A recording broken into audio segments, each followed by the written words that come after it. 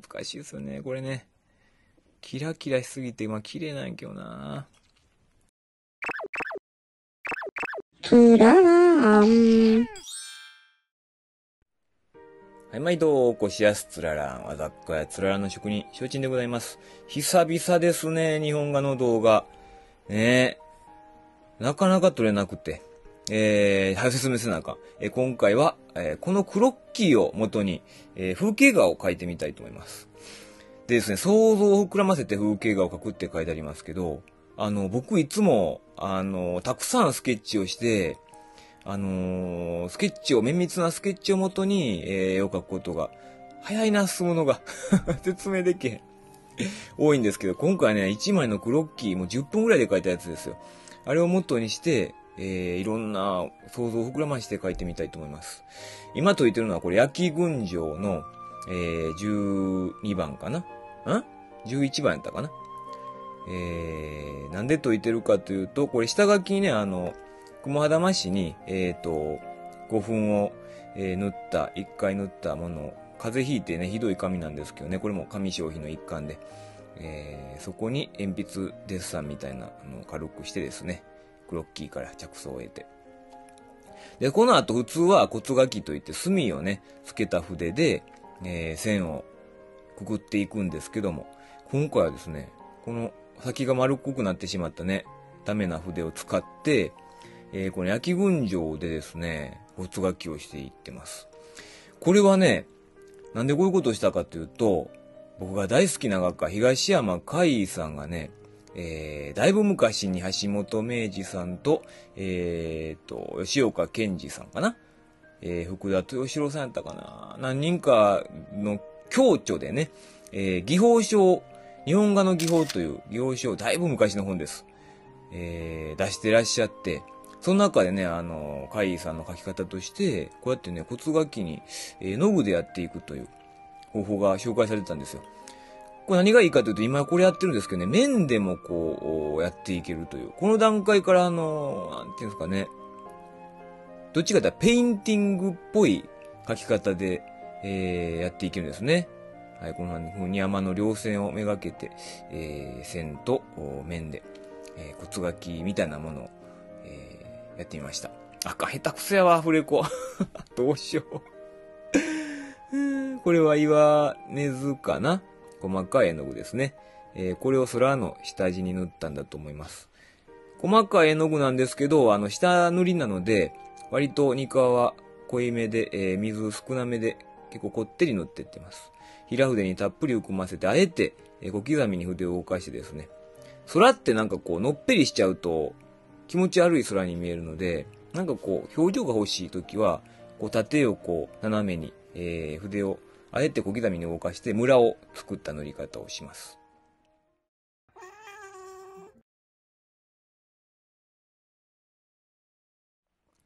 もうこれね、一発撮りなんでね、ついていかれんのね。あ、これちゃんと、あのー毛が入ったらピンセットでつまみ上げておきます。これが、後にムラのない、え画面を作るためのコツです。これが小豆茶かな。ついていかれへんのよ、この映像に。これリアルタイムで僕映像見ながら喋ってますからね。うーん。まあ、止めたりしながらやったらいいんでしょうけど、めんどくさってね。流れ上に。流れに任せてやってってます。はい、次はですね、空を乗ったら、えー、次は山ということで、えー山に、全然ね、これどうですか？あずき茶。下塗りみたいな感じでね、えー、塗ってってます。こんなね、暗いんですよ。でもちょっと紫っぽい山に見えたんですね、逆光で。で、向こうの方にあの、夕日が沈んでいくわけですけど、その色を出すために、じゃあ、えー紫っぽい黒を塗ったらいいかって言ったらそういうんじゃなくて、えーこれアルミで溶いてますね。これ溶きすぎてん、これ。溶きすぎ。ではね、あの、細かい絵の具なのでね、ちょっとでいいです。何ボケっとしてたんか知らんけど、溶きすぎてね、この時、ギラギラになってもって、これ、塗ってるんやけどね、空に。これ、あと、洗い出します。ちょっとあまりにもギラギラが過ぎたので。はい。あかね、説明できへん。その、日本画って粒子の重なりでね、これは心眼の、これなんやろな、古代種ですね。粒子の重なりで色を出していくので、例えばそれを、あの、パッて見たリンゴが赤く見えても赤を塗るっていうことをせずに、赤の下に潜んでる色は何なのかっていうのをこうまたじっくり観察して、あ、黄色とか緑やなってわかると思うんですよね。で、その色から塗っていくと。そういうことをしないとね、なんかあの、ポスターカラーで塗ったような味気ない絵になってしまうので、うん、この色の重なりをね、よく考えて、えー、塗っていくのがコツかな、日本画で描くときは。で、空を塗ったり山を塗ったりして、えー、やっててます。平筆が多いですね。この段階ではまだあの絵の具をしっかり定着させたいので、平置きです。机にあの、画面を寝かせて、えー、描いていきます。日本画では大概そうなんですけどね。えー、こんな風に山にも、え、立体感というか、村を作るように、平筆を縦に走らせて、えー、やっていってます。で、これは種かな。単かなこれは。はい。細かい種ですね。ちょっとオレンジっぽい色。これをしっかりといたら、はい。得時間投げ な、なんか喋ろう思って、あえてかな。はい。何日かかけてこれ、あの、動画、つなぎ合わせて作ってますからね。えー、1日で書けるわけじゃないので、こんなちっちゃい、これね、FP05 というね、めちゃめちゃちっちゃい、ミニアチュールレベルの、えー、はがき2枚分ぐらいかな、大きさなんですけどね。長いな、習得とこ。このうちに喋っとこう。うん。ちっちゃいんやけどやっぱこうスケール感を出したいので、そこのとこ意識しながら色塗っていきますね。えー、これは多分ね、夕日の赤さを出すために塩を溶いてるんだと思います。ちょっとずつちょっとずつ、えー、ニカを加えながら、えー、やっていきますね。週長いなはい。だから何、なんか、回収しきれてない伏線がいっぱいあるな。何を言ってたさっき。東山海さんのその絵描き方にちょっと今回習ってね、やってみようと。大大好きなんですよ、もう東山海さんも。ね。日本の国民的画家。これ水引いてますね、空に。まず。水引いておくのはなんでかというと柔らかくするためです。あの、水引かないとね、結構下地がね、乾いてると吸っちゃうんですよ。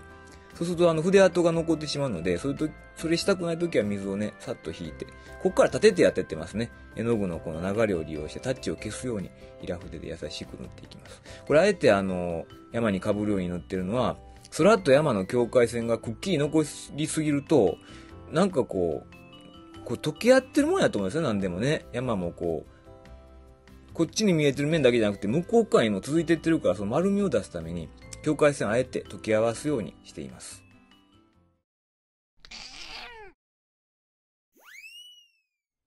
赤へこむは全然説明できへん。海さんね、東山海さん、日本の国民的画がこれ3連日使います。進むのが早いからあかんねんな。東山海さんが愛用したのが3連筆やって言われてます。含みがいいんですよね、平筆より。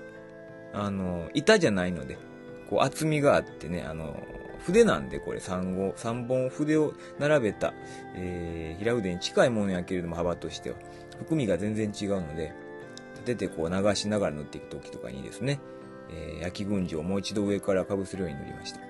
で、ここで、えー、夕日を手でしっかり描いていきます。でね、東山海さんといえば、日本の国民的画家と言われることが多いですけどね。あ、輪郭線はぼかします。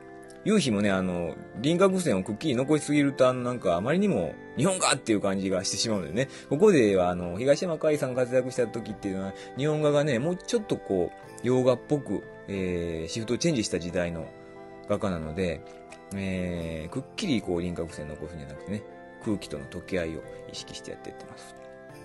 これ僕がこだわったのはこの山の葉のね、えー、ちょっと木がこう見えて、その向こうの方に空間が見えてるような、えー、そういうとこを出したかったので、ここは平筆じゃなくて丸筆でちょんちょんと、えー、乗せるように、えー、森のこの、なんていうかな、木立を少し意識してみました。で、たまにこうやってあの枠をね、しっかり、額縁効果のように L 字をね、こう、こういう風に重ねて、えやるとまたイメージ変わるので、こうやってたまに確認しながら描いていきます。絵の具がはみ出てね、ギザギザになってるんでね、この縁が。汚いじゃないですか。これをききれいにね、あの、ピシッとしてあげるとね、雰囲気変わるんですよ。で、これだいぶね、思い切ったんですけど、これ藤井紫かな？となんか、えー、なんやろな、これ、焼き群青かな？を混ぜて、紫っぽいので、なんかこう逆光で見える山って。ちょっとね、あのー、遊び心でやってみました。で、これ冬だったので、まだ2月、3月ぐらいかな？寒いので、そういう時は電熱器かけながら、肉が固まってしまうと塗りにくいので、しっかりあの、温めながらやっていきますね。全然言われへんもんで東山海さんのこと言おうと思ってるのに。日本の国民的画家なんですけど、まあ横山大観もね、そういう風に言われること多いんですけど、ちょっと大観の場合は、国水色が強いというか、日本って言ってもなんかこう、大和っていう感じがね、どうしてもしちゃうところがあるんですけど、海さんはね、本当にね、もう日本、国水的な日本じゃなくって、本当にこう日本の土地を愛して、なんかもう、同一視してる自分とその風景を。自分と同じ運命のもとにあるものやっていうね、書き方をしてるので、ちょっと違うと思うんですね。体感とかとは。ごめんなさい。まあ、大好きな画家ですよ。それに習うように今日やってみたんですけど、まあ、難しいですね、でもね。完成したとこ見ても全然ダメやったわ。はい、これはパール絵の具です。えっ、ー、と、雲母というものに色を着色してあるんですね。これキラキラしてね。これは綺麗なんですけど、これはこれで。僕ね、恥ずかしながら金泥を持っていないので、これで代用したんですけどね、この日輪の周りにこう、ふわーっとね、雲に乱反射するような光、きらめきを表そうと思ってね、パール絵の具使ったんですけど、まあ、この絵の具が難しいですね。キラキラしすぎてね。今もあの下の方に流したのは、あえてその山のとこにもこう反射してる感じを出すためにやりました。こう、くっきり塗り分けてしまうとね、変に見えるので。何でもこう時計合いですからね。はい、水晶松10番。これを空に塗ったんやったかなあまりにもあのギラギラすぎたので、このアルミで出会った空が。水晶松と崩壊松の違いをね、あのー、わからない方もいると思うんですけど、水晶松の方がね、透明感が高い。崩壊松で同じ番手の同じ量だけを、あの、水晶松、崩壊松塗り、塗ってみるとわかるんですけど、崩壊松の方が皮膚力が強いですね。真っ白になります。だからちょっと、あのー上にベールをかけるように使うには、あの、難しい絵の具かなと。下地に使うことがですね、崩壊松は。引っかかりを良くするために。はい、岩黒と、これはエビ茶何やった？何でした？ちょっと巻き戻し見てみてください。はい、これを混ぜた色で。適当やな。あー、えっと、岩絵の具というのは、この、上に重ねれば重ねるほど、ニカの量を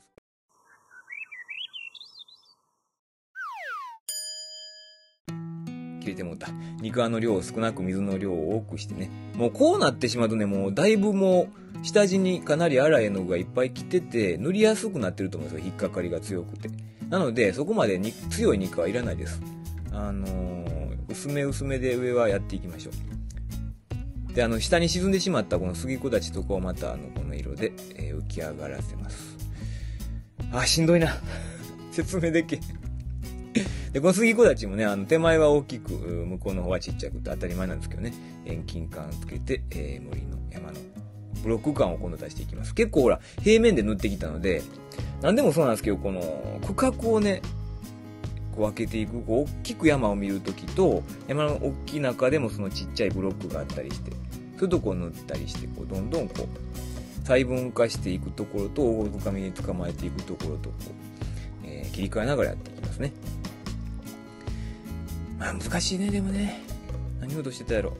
全然忘れた。これで徐々に山に表情をつけていきます。やっぱこう、自然に溶け込んでるものを描くんですから、あの、なんていうかな。絵の具になってちゃダメなんですね、塗ったところが。何回も何回も重ねることによって、またこれ絵の具ですよね。岩絵の具っていう。岩絵の具を塗りましたみたいな感じになってるんですけど、これを何回も何回も繰り返さね、繰り返し、あの、なんちゅうの、繰り返していったら、こう、山の、もっこり、もっこり、もっこり、もっさり。ね、なんかこう、山ってほら、いろんなものを内包してるじゃないですか。木やったりね、あの、地面やったり。その立体感がね、出てくる時があるんですよ、瞬間が。それまで辛抱強く薄い絵の具をね、薄いって言ったらいいのかな、粒子をあの、あまりこう、筆に含まないタッチで何回も何回も重ねて厚みをそして内容を出していきます。空もそうですね。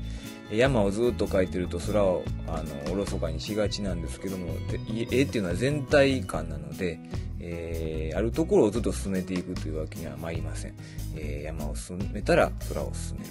空を進めたら山を進める。バランス見ながらやっていってます。途中でわからんなるんですけどね。どうなんやろ？さっきのが良かったんかな？とかね。洗い出したり塗ったりしながらなかなかこうね自分の思いになりませんけれどもこの段階来るとね、一番最初に塗った色何やったんやって思うかもしれませんけど、上に重なりすぎて。でも岩絵の具って、本当に下の方もね、透かして見せてるところもあるんです。この絵でもそうなんですけど、もうほぼほぼブルーになっちゃったように見えるんですけど、ちゃんと下にね、エビ茶があることで、えー、微妙な色合いになってるところもあるんですよね。だからさっき言った話に戻るんですけど、青っぽい山に見えても決して青から塗らない。いろいろそこまでに至るまでにこういろいろね、色で遊んでおくと、あの、すごく、なんていうかな、深い、青でも深い青になってくるんですね。まあ、ただ注意しないといけないのは、やっぱ絵を、えー、そのなちゅうの、色の系統を揃えていくことですね。遊べばいいっていうもんじゃなくて、いろんな色ぐっちゃぐちゃ入れすぎると、あの、うまくいきません。岩絵の具の良さを殺してしまうことになりますよね。絵の具をね、たくさん混色していろんな色使ってね、成功してる画家って僕はね、高山達夫さんぐらいしかいないと思うんですよね。大抵失敗してる。どっかに破綻があるように見えてしまうんですよ。高山さんは天才でしたからね、いろんな色使って、もう、あの、最終的に、自分の絵肌を獲得してるんですけどね。まあ、素人はしない方がいいかなと思います。感触やったら感触、暖色やったら暖色でこう、統計立てて整えていく方がいいですね。はい、こんな感じで、だいぶ山の内容がちょっと出てきた感じがしてきましたね。ここまで来たらもうあとは、もうどんどん塗って自分の思いを込めていくだけです。え、山の茂みの、えー境界線のとこにね、またさっきの濃い茶色っぽい絵の具を入れながら、えー、ぼかして、水でぼかして、山の茂み一個一個をまた独立させていきます。ちょっとまだこう、広い面をね、ザーッと塗ったところもあったので、平らな、なんかこう、なんていうかな、かき割りのような、立体感のない山になってしまっているので、この時はあの、細かいところ、茂みの木立とかをこう、描くように塗っていきます。こんな感じええ輪郭線っていうんかな。線で残しちゃダメなんですけどね。うん、輪郭のところに深い色を入れて、え山を、木立をこう浮き立たせるっていう感じですかね。向こうの山もそうです。こここだわったんですよね。向こうのちっちゃい山。山の高いとこやからもう木がね、ほんまにちっちゃく見えてるんですけどね。これがいいなと思って。まあでも何もたりにはならへんかったな。はい、最後に、えー、また、えー、パール絵の具。そうそう、それを言おうとしてたんか。恥ずかしながら金税を持ってませんので私これ使ったんですけど難しいですよねこれねキラキラしすぎてまあ綺麗なんやけどなうまく使うとダメですねはいこのようにほら下にほらキラキラ流れながら定着してってますねこういうのもいいんですはい梅皿を出します梅皿だけはねあんまり使いどころないんですけど実はこの絵皿って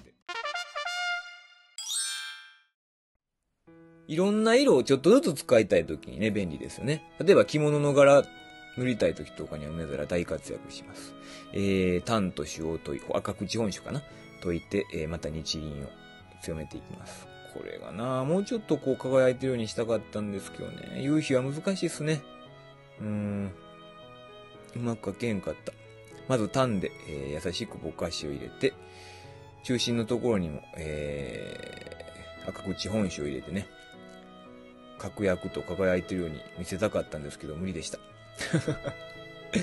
えっと、パール絵の具もね、周りの方にも、塗ってですね、ちょっと光ってる感じを出してみました。結構もう山はこれで終了ですね。あとは空のところちょっと整えて終わりやったと思います。こんな感じですね。キラキラしてるの分かりますか？綺麗ですよね。荒い絵の具もいっぱい使ってるので。うん。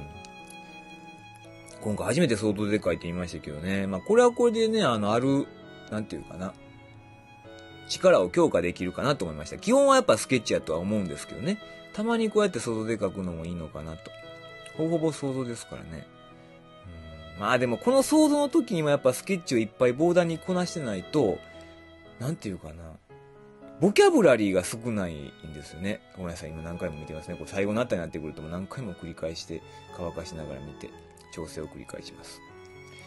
ボキャブラリーをこう想像の時でもたくさん出せるように普段からスケッチをしておくということやと思うんですよね。はい、はい、えー、もうここで観念しました。いつも僕の、えー、絵画の完成は観念です。完成じゃなくて観念。もうしゃあないなと。これ以上手入れてもしゃあないしということで、インクを、えー、置いてですね、しっかり位置を決めて、楽観をします。